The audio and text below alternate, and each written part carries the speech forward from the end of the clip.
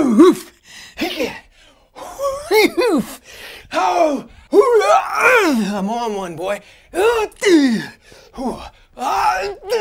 You're on one? Yeah, What man. does that mean? I'm on a new plan, man. I'm waking up at the crack and sculpting a fresh bod. Okay, Jesus Christ. No, man. It's The Rock.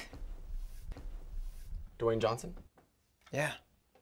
He's got a three step plan. I read the article. Yeah, I read that. Yeah, you remember? Yeah, of course. One, working out.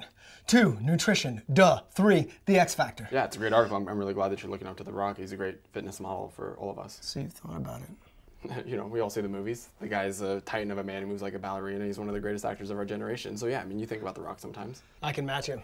I can match him in skill, ability, and uh, mostly body mass. The thing is that I think it's great. Probably a little bit of to him, weight gain, like some Met-Rx, maybe some protein powder, can maybe never some protein him. bars. I'm not even sure about it. Maybe some creatine. Yeah, you're just gonna wake up one morning and be a six foot five, 265 pound god from Hayward, California, with the tribal tattoos from his Hawaiian heritage, who glistens as he walks off the beach.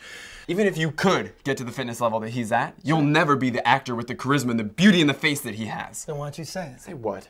Just say it. Oh, say what? Why don't you just come out and say I it? love The Rock! Yeah! Yeah! I love The Rock too, man. I just wanted to hear you say it, bro. See ya. Have a good day.